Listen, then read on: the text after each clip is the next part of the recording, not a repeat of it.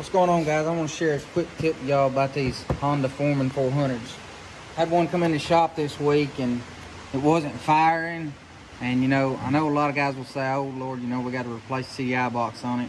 You know, that's not always the case, especially on these bikes. If you'll come around to the right hand side of the bike at the rear,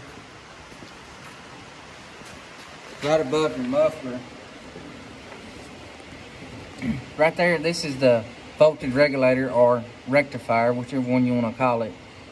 Uh, this one came in. I had a bike just like this out back that was junked out, so we took a used one off it, put it on there, and this one fired right back up, went to fire, and everything went back to working like it was supposed to.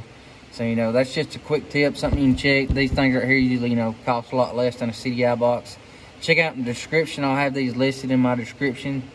So go check that out. Thanks for watching.